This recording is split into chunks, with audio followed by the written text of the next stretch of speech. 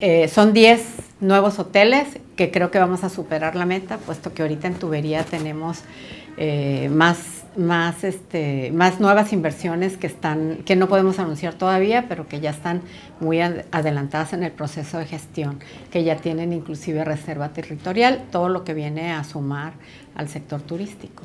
de las cadenas, pues tenemos a, al Sleeping, que es una cadena este, sinaloense, tenemos al Fiesta Inn, que es una cadena internacional, tenemos el Fiesta Americana, que también es una cadena internacional, y la que ya anunció el gobernador y el alcalde, que es el Westin, que es una cadena internacional, pero que está en proceso todavía.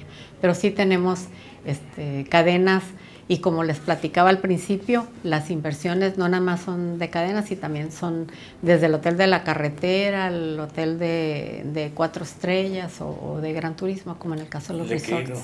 Sí, no, nada más hoteles, sino son hoteles, centros comerciales, este, condoteles, este, y nuevos restaurantes.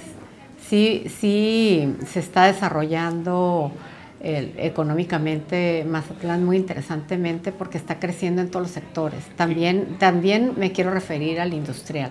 También tenemos este, nuevas industrias que están en proceso de gestión.